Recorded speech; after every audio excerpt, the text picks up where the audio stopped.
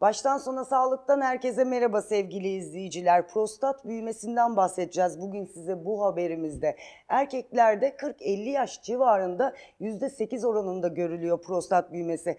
Ama yaş 70'e gelince işte bu oran tam %80'lere kadar çıkabiliyor. Prostat büyümesi nasıl bir hastalıktır ve Türkiye'de çok sık görülür mü? Prostat yaklaşık 20 gram ağırlığında her erkekte olması gereken bir organdır. Esas fonksiyonu erkeğin üreme fonksiyonunun devam ettirilmesi üzerinedir. Ancak yaşla beraber bir takım değişiklikler başlar. BPH dediğimiz iyi huylu prostat büyümesi de her belli bir yaştan sonra ortaya çıkan e, yaygın bir problemdir.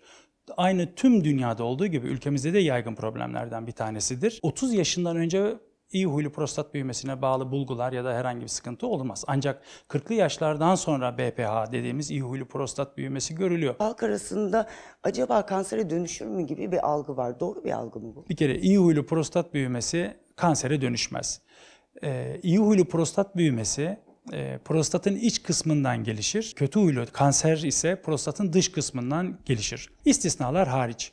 E, dolayısıyla yani aklımızdan bir kere şu soruyu atalım. Bende prostatım var, büyüyor. E, bu kansere dönüşür mü sorusu son derece yani yanlış. Prostat büyümesinin en önemli belirtilerinden biri idrar şikayetleri. Hele ki bu şikayetler gece uyanmaya kadar varabiliyorsa mutlaka bir uroloji uzmanına gitmek gerekiyor. Prostat büyümeye başladığında ne gibi belirtiler veriyor? Sık idrara çıkma.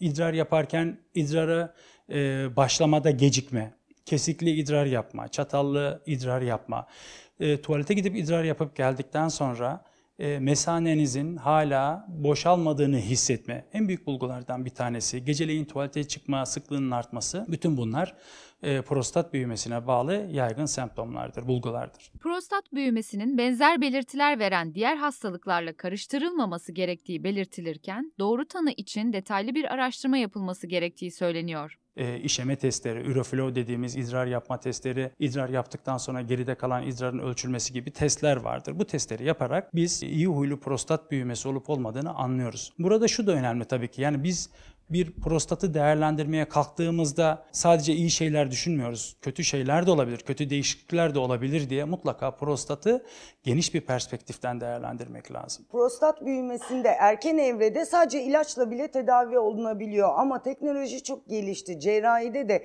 HOLEP tedavisi sayesinde çok başarılı sonuçlar elde edilebiliyor. Bazen hafif derecede yakınmaları olanlara sadece birkaç e, tavsiyelerle ve belli aralıklarla hastamızı kontrole çağırarak e, bir izlem yoluna gidebiliyoruz. Orta derecede sıkıntılar olanlara Bazılarına yine tavsiyeler yaparken bir gruba ise ilaç verebiliyoruz. İlaca yanıt veremeyenlerde ya da bulgularının ciddi olan hasta grupta ise ameliyatı o zaman tercih ediyoruz. Endoskopik girişimi o zaman tercih ediyoruz. Hangi yöntem kullanılıyor hocam prostat büyümesi ameliyatında? Lazerler girmeye, devreye girmeye başladı ve özellikle bunlar arasından da holmium lazer daha belirgin olarak ön plana çıkmaya başladı. Zamanın ilerlemesiyle beraber holmium lazerin gücü arttı. Daha büyük prostatlı hastalarda bu işlemler, endoskopik işlemler daha rahat ve daha az komplikasyonlu olarak yapılmaya başlandı. Holmium lazer dediğimiz HOLEP'le prostat tedavisinde ise yine çok e, dünyayla hemen hemen eş zamanlı bir e, sürece girdik. HOLEP tedavisi sayesinde hem ameliyat çok kısa sürüyor hem de hastalar çok daha kısa sürede günlük hayatlarına dönebiliyor. Şimdi işlemin süresi tamamen prostatın büyüklüğüne bağlı. Çünkü HOLEP'in etkinliği ve güvenilirliği küçük prostatlarda da gösterildi, çok büyük prostatlarda da gösterildi. Bir kere bütün hastalara mutlaka anestezi görür. İdrarın gelmiş olduğu yerin tersine ilerlenerek endoskopik bir girişimdir. İyi huylu büyümeye yol açan iç kısmı tamamen temizleniyor. Bunu bir portakal gibi düşünmek lazım. E, portakalın kabuğunu prostatın dış kısmı diye düşünecek olursak, portakalın içini de prostatın iyi huylu büyümeye yol açan iç kısmı diye düşünecek olursak bu iç kısmı tamamen dış kısmından temizlenip e, dışarı çıkartılıyor. Mustafa Bey şu an 64 yaşında. Bundan tam 10 yıl önce şikayetleri başlamıştı. Bir üroloğa gitti, ilaç tedavisi oldu. Ama ameliyat olmaktan çekindiği için son güne kadar erteledi. Geceleyin e, 4-5 sefer tuvalete kalkıyoruz. Bu tuvalete kalkınca uyku düzenimiz bozuluyor ve e, insanı psikolojik olarak da çok etkiliyor. Diğer tarafta araba kullanıyorsunuz veyahut da herhangi bir misafirliğe gidiyorsunuz. İkide bir hadi bir tuvalete gideyim geleyim. en basitinden bir maçı bile tam seyredemiyordum.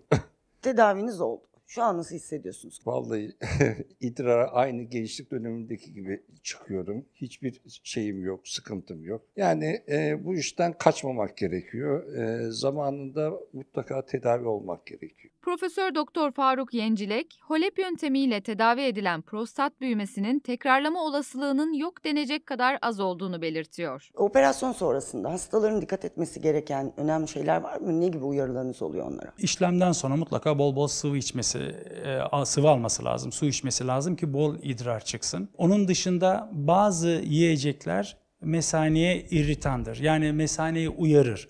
O tür şeylerden belli bir dönem uzak durduruyoruz. Neler mesela? Mesela bunlar turşulu, acılı, baharatlı şeyler. E, soğuktan uzak duruyor, kendisini koruyor. Prostat büyümesinde HOLEP operasyonu sonrası hastalar ikinci gün sondasız taburcu olabiliyor. Eğer tüm bu şikayetler ertelenirse, görmezden gelinir, ihmal edilirse sevgili izleyiciler sadece prostat büyümüyor. Bunun yanında hem mesane hem de böbrekler oldukça zarar görebiliyor. Şu an bizi izleyen CNN Türk baştan sona sağlık izleyicilerine ne gibi uyarılarda ya da önerilerde bulunmak istersiniz hocam?